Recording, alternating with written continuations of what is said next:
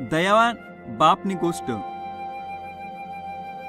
एक दिन त्यानं ऐकासाठी जमेल गैरल जकातदार आणि पापी लोक असले येशू शिकाडत होता काही धार्मिक पुढारी बी तटे होतात तर येशू पापी लोक व जकातदार असले मित्र सारखा वागस आहेत तेसनी देख आणि त्या तेना बारामा आपसमा बोलू लागणार तव येशू तेसले हाय गोष्ट सांगे एक माणूसले दोन पोरं होतात दाखला पोऱ्याने तेनाकडे जायसन सांग. बाबा मना हिस्सा मा येणारी मालमत्ता मले आपतेच दे. यासाठी बापने आपली संपत्तीना दोन वाटा दोन परसाठी करत. लवकरच दाखला पोऱ्या सर्व संपत्ती लिसन दूरदेश ले निघी घ्या. तटे जायसन वाईट कामसमा सर्व संपत्ती उडाई टाकी. तेनानंतर जटे तो रायरांतात त्या देशमा भयानक दुष्काळ पडना.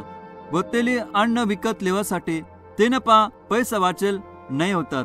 तेव्हा त्याला फक्त एकच काम भेटणं. ते म्हणजे वावरमा डुकरासले चारानं काम. तो इथला दिनवाना व भुक्या हुजाल होता की ज्या शेंगा डुक्कर खात होतात तेसले खाऊ की काय असं त्याला वाटत होतं. आखरीवर तो दाखला पुऱ्या स्वतःले सांगना मी आठे काय करी रायनू मन बापना घरमा नोकरासले खावाले भरपूर शे आणि मी आठे उपाशी मरी रायनो. मी मना बापकडे परत जाय रायनो. आणि तेना एक नोकर मनीसन रावाले विनंती करसू. ह्या प्रकारे तो दाखला पुऱ्या आपला बापना घरकडे निघना तो दूर राय रांतात बापनी तेले देख. व तेले तेनावर दयावनी. तो पयत जायसन तेले चुंबन दिदा. व तेले भेटना. पुऱ्या सांगना ए मना बाप मी देवना विरुद्ध मा. व तुना विरुद्धमा पाप करेल शे.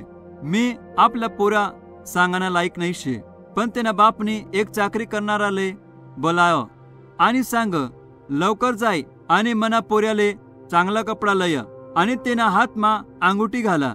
मग एक पृष्ठ वासरू मारुसन एक मेजवानी तयार करा व आपण बट्ट आनंद साजरा करू. कारण की मना पोऱ्या मरेल होता पण जित्ता हुई जालशे तो दौडी जाल होता पण ते सापडी जालशे. या प्रकारे तेसनी आनंद साजरा करणार तेना पहिला मोठा पोऱ्या वावरमा काम करीसन घर येल होता.